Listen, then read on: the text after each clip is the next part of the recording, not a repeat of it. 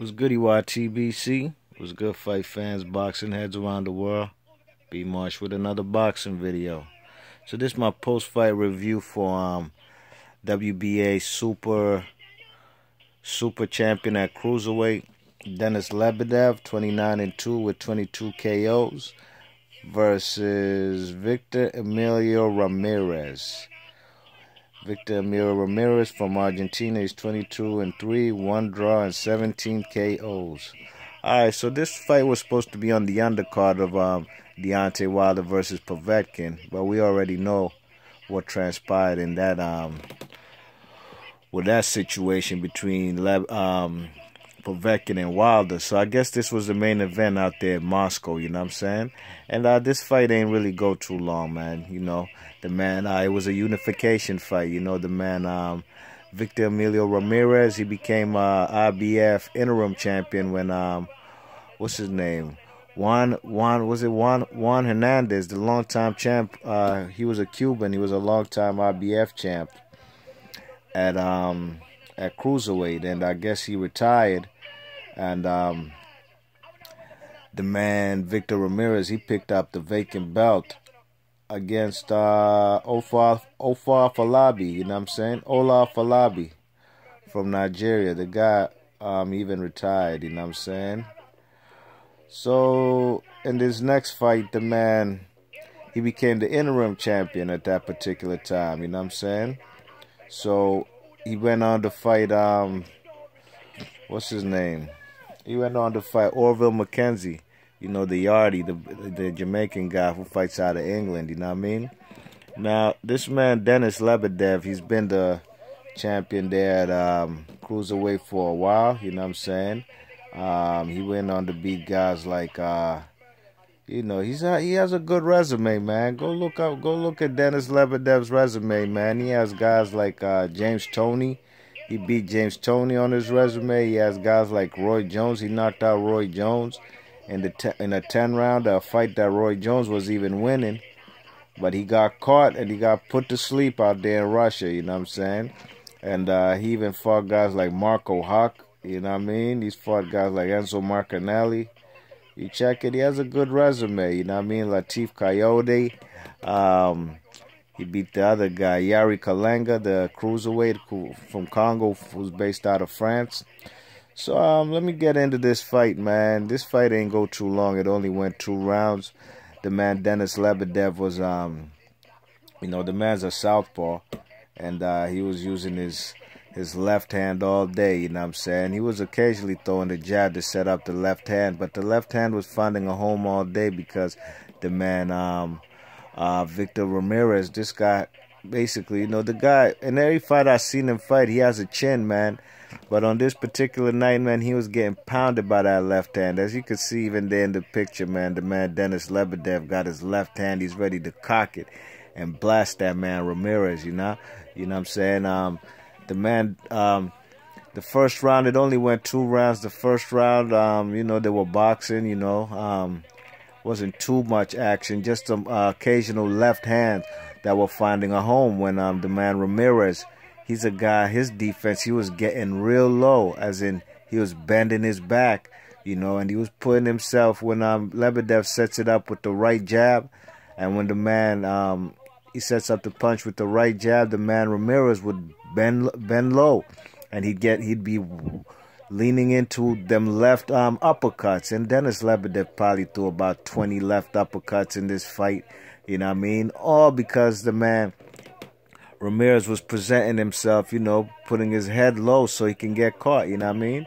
So in the second round, man, the man Denis Lebedev, but in the first round, the man uh, Ramirez did catch Lebedev with a right hook. You know, no, I'm sorry, a straight right hand and um, he hit him in the body, like uh, on the upper body, like around the shoulder or the chest, and it did, you know, it did push that man Lebedev back. You know, something like uh, when Ricky Hatton fought Mayweather and he caught him with like a left, a left hook, and it had that man Mayweather, you know, basically almost falling, falling back, you know, moving backwards. You know what I'm saying? And the ropes helped him up. That was a kind of the same thing with Lebedev, but in the second round, Lebedev went, uh, commenced to go AWOL on the guy and he started punishing the guy with straight left hands. and he was just finding a home. The man was bending low and even knocked him down with a nice left uppercut, you know what I'm saying? That put Ramirez on the seat of his pants. And uh, the man got up and you know, you could tell he had a glassy, glassy, glassy eye look in his look in his eyes. You know what I'm saying? And um, uh, he got up, and uh, the man Denis Lebedev commenced to pounce on him. You know what I mean? He got him in the corner, and he was blasting him with uh, left hands and right hands, and even he hit him with the with the left hook and the turn and the man Ramirez basically turned his back. He looked like he was running. Same way John Jackson did against uh, Jermell Charlo, you know what I'm saying? He turned his back. But this referee, you already know Steve Smoger. Steve Smoger, you can usually find him in the fights in the New Jersey area. Anytime you see a fight in Atlantic City, best believe Steve Smoger will be on will be refing a fight on that card, you know what I mean? So he came all the way to Russia, you know what I'm saying? To um you know what I'm saying, to referee this fight. And he let that man, Denis Lebedev, commence to pounce on him, man. The man, Lebedev, caught him with vicious left hooks, left hooks, and not no counter punching in return from Victor Ramirez. You know what I'm saying? You know, truth be told, the Ramirez guy, man, I knew he'd lose this fight. He lost the fight, in my opinion, to Ovill McKenzie. Ovill McKenzie should have been the IBF champion that that night. But you know, the fight was in um he won the fight in my opinion. But the fight was in Argentina and there was no way the Yardie from England was gonna get that decision in Argentina. So they gave him a draw, you know what I mean? But um Lebedev he wasn't going for that. He wanted to become the unified champion at uh cruiserweight. So now he has the IBF strap and the WBA strap at cruiserweight, you know what I'm saying? And he punished the man um Ramirez, man. Ramirez, like I said before, I thought this man Ramirez got a chin, but um, hey man, Denis Lebedev was throwing some bombs, man, and uh, the man uh, Steve Smoger let him get punished, but eventually he finally jumped in there and stopped it because the man, as you can see in this particular frame, the man is low like that. He always is is is bending down low. He's in the way. He's in the path of that left hand by Denis Lebedev. You know what I mean?